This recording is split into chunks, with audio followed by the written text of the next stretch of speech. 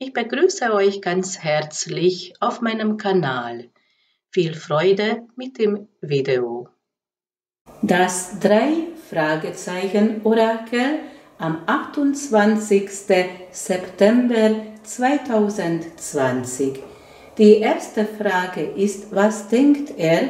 Das zeigt die hohe Priesterin und hütet die Geheimnisse des Lebens. Hütet ein geheimnisvolles Buch, das Schicksalsbuch, wo die Schicksalswegen beschrieben sind. Das ist ihm bewusst. Entweder interessiert sich für Spiritualität oder er weiß, es kommt eine Schicksalswende, eine große Veränderung und trifft auch schicksalhafte Entscheidungen. Außerdem, er ist überzeugt davon, dass euren Begegnung ist auch schicksalhaft, weil in diesem geheimnisvollen Buch ist es geschrieben. Diese Karte bedeutet auch Nachricht und das sind seine Erwartungen. Die zweite Frage ist, wie fühlt er sich? Er ist in diesem Kreuz angekommen in sein Lebensweg und überlegt sich, wie soll es weitergehen. Er trifft gerade schicksalhafte Entscheidungen.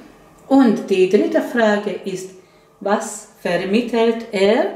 Das zeigt hier Justitia. Das kann eine rechtliche Lage sein oder er kämpft um die Gerechtigkeit und er braucht das innere Gleichgewicht. Diese Waage symbolisiert auch Partnerschaft und es könnte ein Neuanfang sein. Falls er noch verheiratet ist, könnte die Scheidung bedeuten.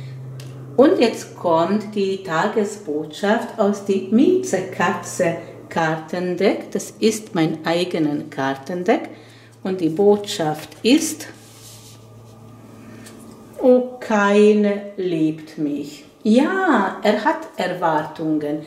Er wartet von euch auf eine Nachricht und das ist seine Stimmung. Und das war mein drei Fragezeichen Orakel.